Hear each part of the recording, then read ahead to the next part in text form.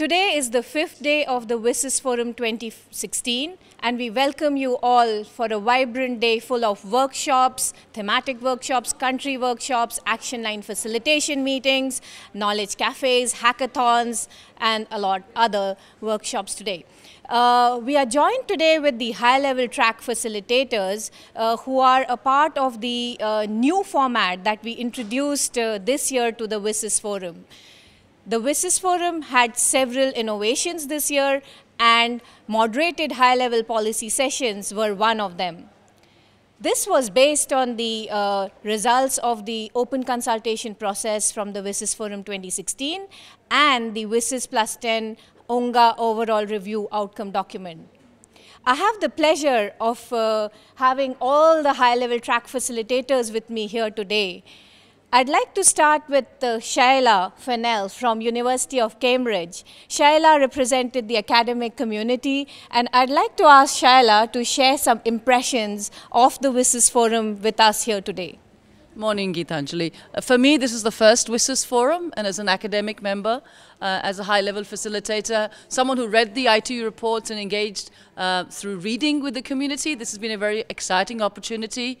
Uh, what was particularly for me valuable was the sense of cooperation between ministers, organizations, and of course, most amazingly, the team that we shared here. So thank you very much, and I hope that we have another version of this in the years to come. Thank you.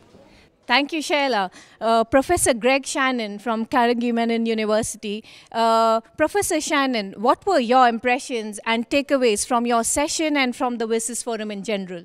Well, from the Bridging Digital Divides, it was impressive how the eight uh, panelists all had actual progress in uh, bridging digital divides and huge optimism for continuing that in the future. Thank you, Professor Shannon. Uh, we have Anna from the technical community, and uh, I believe, Anna, this was the first WSIS forum, forum for you. So, what were your impressions and uh, the key uh, takeaways for you from the forum? Thank you. It was my first WSIS forum. I moderated a session that included um, delegates from four continents and four different groups of stakeholders. And it was fascinating that all of them had wonderful case examples of the way they're addressing the enabling environment for ICTs, climate change, and cybersecurity issues. Indeed, WSIS Forum, the key platform for sharing best practices and showcasing best practices from all over the world. Good morning, Nigel. Nigel too represents the stakeholder community from the technical uh, community. And uh, Nigel, you are a regular at the WSIS Forum. And what was different this time? And what are your impressions from the WSIS Forum this time? Well, thank you very much. I, I, I, think it was different, and this, this experiment that you referred to in having facilitation, in having questions rather than statements, I think is a brilliant innovation. The panel I had the privilege to, uh, to moderate uh, comprised of ministers from a number of countries, and what we really found was an energy, a real energy to do something, to use ICTs to implement the Sustainable Development Goals. Not there on the detail yet, but the principle and the purpose behind it is all there. Thank you. Indeed, uh, Nigel, ICTs as an effective solution for implementing and achieving the SDGs. Uh, good morning, Laurie. Uh, Laurie had indeed a very special panel uh, that was dominated by civil society organizations. Uh, and uh, Laurie, can you share some of the real case studies and excitement that emerged from your session? Thank you. Yes, it was a very exciting session, and the new optimal word has come out cyber optimism. That there are NGOs out there with a lot of energy. More specifically, we had cyber volunteers who have more technical and experienced users teach new users new technologies. We had Bridge Africa, who is helping the African continent create websites through texting. And we had the Bangladesh NGOs who, uh, for radio and communications who are helping women and youth broadcast local content in local language. Thank you national, regional experiences being shared at the WSIS Forum. Thank you, Laurie, indeed. Uh, hello, Klaus. Klaus represents the civil society. Uh, Klaus has been a great supporter of the WSIS Forum since its inception. Uh, Klaus, can you share your first impressions of uh, WSIS Forum 2016? As Nigel already mentioned, it's a different spirit. There's a spirit of cooperation, there's a spirit of optimism, and the key message of my session was quite simply let's get it done, let's really work on the sustainable development goals and try to fulfill them. And I think that's a brilliant message in a time where we don't have many positive messages. Thank you. Thank you, Klaus. A positive message indeed. Partnership and collaboration is key to success.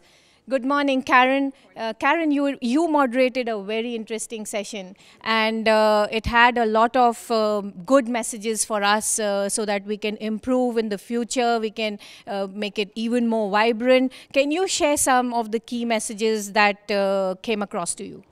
Uh, sure. First of all, it was an honor to be part of this uh, inaugural uh, a process of high-level facilitators. So I'm very grateful for that. Um, you know, this, I think a, a, work of the last 10 years has really culminated in some significant change at WSIS, and we look forward to taking that into IGF as we in other uh, activities that we get through the year. Uh, for my panel, it was very interesting, and we were very honored to have the minister from Mexico on our panel. And as we're leading up to IGF, which will be in Mexico, um, hopefully we can take those case studies that were presented. Uh, you know, it's global issues but we need to definitely look at it uh, and have discussion on a, on a, local level about that. So um, my key takeaway was to sort of keep that momentum going. Thank you. Thank you, Karen. Indeed, uh, going uh, global to local and local to global, sharing all our experiences. Uh, good morning, Thomas. Uh, Thomas represents the United Nations University, and uh, he also had a very interesting session. In fact, his was the first session at the WSIS Forum. Uh, Thomas, as the first moderator, what was your impression of this new format? Yes, I would, I would like to say I'm a long-term attendant of WSIS Forum and I particularly appreciate the value of the forum for international and cross-sectoral networking. Uh, um, this year in particular, I was impressed by the growth of the development orientation um, uh, intersecting in various interesting ways with various uh, action line, WSIS action lines. So we really begin to see the connection between WSIS and SDG taking shape. So congratulations to ITU. Thank you, Thomas. Uh, I'm joined here with Ifat. Ifat does extremely interesting work in the area of gender equality and gender mainstreaming in the area of ICT. Uh, Ifat, uh, as you also know, that the uh, high-level outcome document stressed a lot of importance on gender equality being a cross-cutting issue around the Sustainable Development Goals and the ICTs. Uh, what were your impressions of the WSIS Forum and uh, your session in particular? Uh, first of all, congratulations to the WSIS Forum organizers. And it's a welcoming step that we are moving from statements to dialogue. And, and that's one of the biggest difference with that we saw at WSIS Forum. Also, uh, um, of the sessions that we organized on gender equality and the sessions that I moderated, the high-level sessions, um, the recurring theme, which I find really really promising was poverty reduction and gender mainstreaming through ICTs. So um, I'm very happy to be part of all this. Thank you. Thank you, Ifat. Uh, poverty reduction and gender mainstreaming through ICTs is extremely crucial. Good morning, Cici. Uh, CC had a great session. He represents the African, African Civil Society Network. Uh, we'd like to thank you, CC, for offering us the African uh, goodies and the, uh, uh, the uh, local food and drinks that you shared with us. CC, what were your impressions of the WSIS Forum this year? Thank you, Gitanjali. Um, I'm very grateful of the big, big improvement of the WSIS. I'm a long-term uh, uh, participation in the WSIS, but this is for me the best one because of the format, because of the multi-stakeholder approach, and uh, because having moderators from all uh, all stakeholders. And my main um, my session was on uh, bridging digital divide, and what we really stressed was uh, think for business people, think about people as a human being also think about local contents, think about local languages so that you can broaden your, your market and make people concerned by, by ICT. Just not go for fun or for gadget, but think about the, the human aspect of ICT. And I, I congratulate you and uh, all the team of uh, ITU and ITU partners for this very brilliant and innovative way of conducting uh, the WSIS Forum. It's really excellent. Thank you. Thank you, CC. I'm glad that we could live up to your to your expectations. Uh, we are joined with Chinmay, who is the nomination, uh, who was nominated from the WSIS uh, Civil Society Coordination Group. Uh, Chinmay, what were your impressions of your session and the new format of the WSIS Forum? Thank you, Gitanjali. This is my second WSIS forum. We at the Center for Communication Governance at National Law University participated last year. I was so happy to see how the forum is evolving and becoming more multi stakeholder. It's creating new spaces for engagement for different stakeholders. This year, we actually organized a workshop on enhanced cooperation in addition to my high level facilitation. And I found that both created spaces for a lot of engagement with all kinds of stakeholders that we wouldn't get to meet otherwise, which was very valuable to us. And I look forward to future WSIS forums. Thank you so much. Thank you, Chinmay. We hope to see you again and again, and we invite you already for WSIS Forum 2017. In conclusion, I would like to uh, invite Mr. Yaroslav Ponder, who, uh, who is the main person behind the WSIS Forum. Uh, Yaroslav, uh, in conclusion, what uh, is your view about the new format, and uh, do you think that this can evolve into something very useful for the WSIS Forum? Thank you very much, uh, Gitanjali.